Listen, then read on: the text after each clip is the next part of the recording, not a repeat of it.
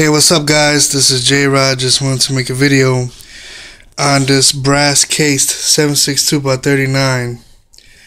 Now, this is Arsenal. This is PPU. This ammo is made in Serbia. This ammo is made in, I forgot, and I will find out right about now. Bulgaria.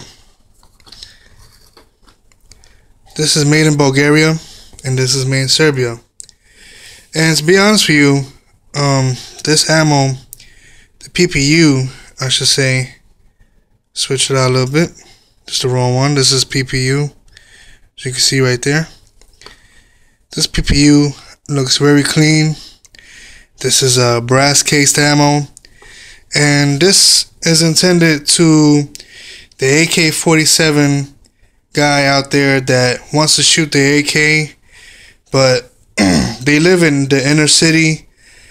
They live in city limits and they have to travel to an outdoor range to shoot their uh, AK and shoot the steel case stuff, shoot their wolf, tula, any of the bears, and uh, have fun. The only thing is, as you all know, the uh, brass case stuff costs a little bit more than your cheap Russian ammo that's out there in the market.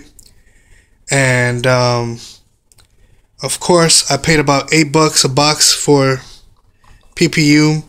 I paid about nine dollars for the Arsenal, and um, yeah, maybe a little bit pricey, but you know what? If if you think about it, it might be a little bit worth it because one, you could shoot at your indoor range that does not allow the the cheap Russian stuff, Two, if you do the math on it, you might go ahead and just, you know, say to yourself, you know, the hell with it, let me buy this brass case stuff because, um, you know, driving like an hour or more than an hour away to go to your outdoor range and wasting that amount of time and driving and gas, you might as well. You know what I mean? Buy the brass case stuff, go to your local range that's probably about maybe 15, 30 minutes away from you and go ahead and have fun with your AK. Not only that, the guy in the in the in the range can't bitch about you shooting any uh, Tula or any um, you know steel case stuff. But the only thing is, like I said, Arsenal they usually sell um, I think about nine bucks a box for twenty. I found the PPU for about seven and change, eight dollars for a box of twenty. And since they're the cheapest, ding ding ding ding ding, I'm going with them. And they're brass cased. So um other than that, you know, just wanted to make this video and let you guys know, you know, what's out there. Of course there's more expensive brass case stuff for 762, but that may be in regards to maybe hunting with your AK, whatever.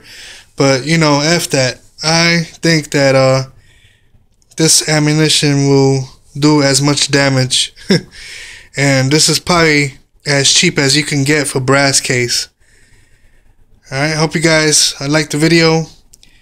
Uh, definitely subscribe. I appreciate you watching.